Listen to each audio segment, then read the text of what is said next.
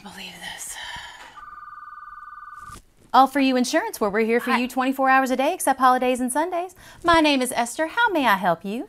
Yes, we just got back from vacation and apparently our water heater burst sometime while we were gone, and now everything is just flooded. I wanted to check my coverage. Oh, oh I'm so sorry that's happening to you. I will see what I can do. Can I have your policy number, please? Okay, and your last name and your address. And for security purposes, I'm going to need you to confirm your social security number and your mother's maiden name and your blood type. And I'm also going to be needing your firstborn child. What? Ah, I'm just kidding. All right, let me check your coverage.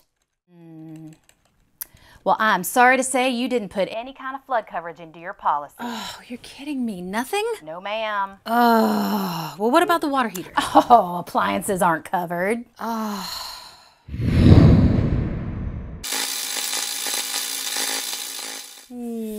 I love you, water heater. Mwah. Most of us do not appreciate our hot water heater enough. Do you have any idea what she goes through every day and how much pressure she's under? She could pop at any moment. Luckily for us, this didn't actually happen, but the water heater that we have is the original to the house, which was 16 years ago. One thing you can do to extend the life of your water heater is to have one of these guys installed if you don't already have one. This is a thermal expansion tank, and it helps relieve some of the pressure that's built up inside of your water heater as the water is heated. This is something you would want to have professionally installed initially. You can actually replace it once it goes bad, and I did do a video about that if you want to check it out. For the first 10 or 12 years we lived in this house, we didn't do anything to maintain this water heater, but there is something that's pretty simple that you can do about every six months that'll help clean out the sediment that gets settled at the bottom of the water heater. All right, so, righty tighty, lefty loosey. Okay, yeah, I did that the wrong way. Oh, what a mess. I keep a meter on this at all times so that I can monitor the, the pressure of water that's coming into the house. If you watch the video where I replace the thermal expansion tank, you'll know why I do that. I'm gonna go ahead and tighten this off. A lot of them will have a regular knob there, mine doesn't. Take this off. Put a bucket underneath, or you can hook this up to a hose if you like and run it out your door or your window. And turn on the water and let some of the water drain out. Me see if you can see. You see that dark water that's coming out? And I just did this about a year ago, so, um, you know, that's kind of concerning that there's that much in there.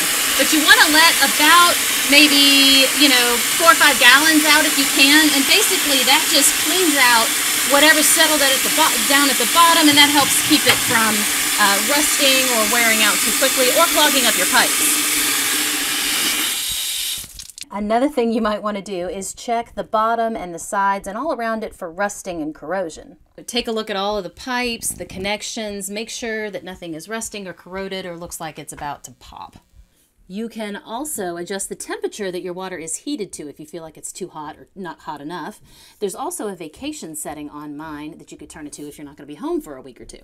As always, yours might look a little bit different than mine, so you may need to do your own research on that, but just know that it's possible. Now, there is a much more comprehensive and involved servicing that can be done on a water heater. To have a professional do it costs about a hundred bucks or so. Um, you can do it yourself. The instructions are online all over the place. You can find instructions for that, but frankly, it's very complicated. There's a lot of steps to it, and as an average person, I wouldn't feel super comfortable doing that one myself, so in that case, I would hire a plumber to do it. We've actually never even had that servicing done on this one, and it's lasted 16 years. Also, something that homeowners should know that a lot of people don't is how to turn the water off to your house from the main line. For us, there's two places you can do that. Right here is where it initially enters the house before it gets into any of the fixtures or appliances. We also have a shut-off point here in our front yard, right in the middle of the yard, where you can shut the water off before it ever even gets to your house or your garden hoses. Make sure there's no snakes in there. that would be bad. The city workers have a nice long tool to be able to shut off your water with so they don't actually have to stick their hand in the ground. In our area, copperheads and rattlesnakes are actually quite common. Now, if you're on a well, this is going to be different. But if you're on city water, there should be a spot where city workers can easily access your water meter, which is also located right next to the shutoff switch.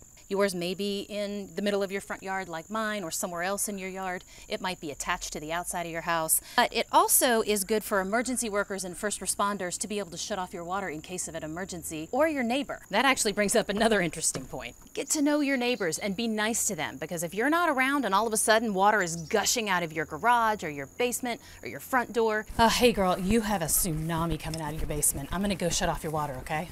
Your neighbors are going to be much more likely to notice and also to help you out if they actually like you. So be nice, y'all. It takes a village. Stop! Stop following me. Stop. This dog is like two feet from me at all times. I love you. I do.